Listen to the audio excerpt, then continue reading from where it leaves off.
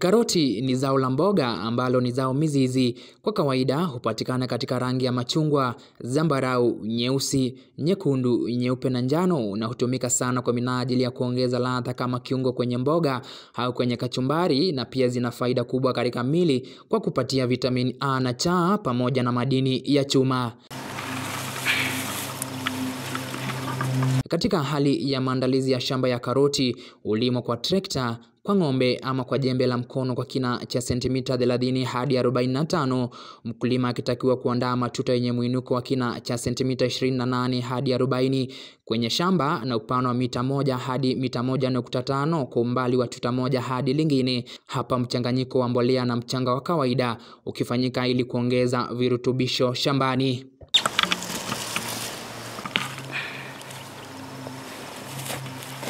E, katika eneo la Lukenya kaunti ya Machakos tunapatana na mkulima wa karoti hapa akielezea jinsi anavyopanda. Kwanza akichimba mitaro midogo kwenye shamba alilotayarisha, kisha anaziweka mbegu zake hapo na kuzifunika kwa kiasi cha mchanga, kwani mchanga kwa wingi huzuia uotaji wa mbegu hizo, ikizingatiwa ua ndogo sana. Sasa karoti hatuweki kwa nasari, karoti tunapanda direct.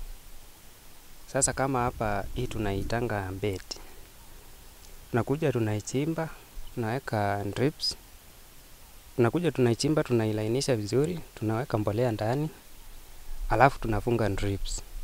Tukishamaliza kufunga hizi drips, tunakata laini hapo mahali drips ime, imelala, alafu tunakuja tuna, tunaweka mbegu. E, karoti huhitaji kunyunyuziwa maji angalau mara moja ama mara mbili kwa siku. Mkulima huyu akisema kuwa anamwagilia shamba na mimea yake maji kwa njia ya matone akitumia mifereji nyembamba, hapa akinyunyuzia kabla na baada ya miche kuota kwa kiasi kidogo, akihakikisha kuwa unyevunyevu wa kutosha kama sio wakati wa mvua. Na tunanyunyizia maji, hatutegemei mvua, so ukipanda lazima uweke maji ndio imee mzuri, ndio ikue. Hii yangu nanyunyizia maji na drip irrigation.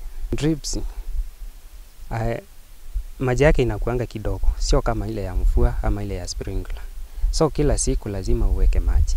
Zao hili huhitaji muda wa miezi miwili kuwa tayari, lakini mkulima akihitaji kupata mavuno kwa wingi, lazima aweze kupalilia mara kwa mara, aking'olea magugu kwa kutumia mikono, jembe na mengineyo. Pia akihitajika kunyunyizia madawa ya wadudu, ila siyo mara kwa mara. Mumea huu hupatwa na magonjwa. Karoti inaenda miezi miwili. Ile inatusumbua ni ile ile mbarafu tu, hakuna wadudu wanaingia kwa karoti.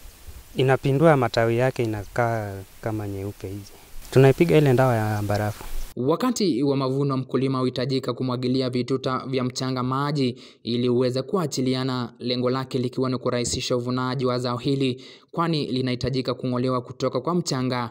Hapa mkulima huyu akisema kuwa soko sio changamoto, kwani mara nyingi wanunuzi hukujia shambani na pia kusafirisha hadi sokoni, na zinazosalia hutumika kama chakula.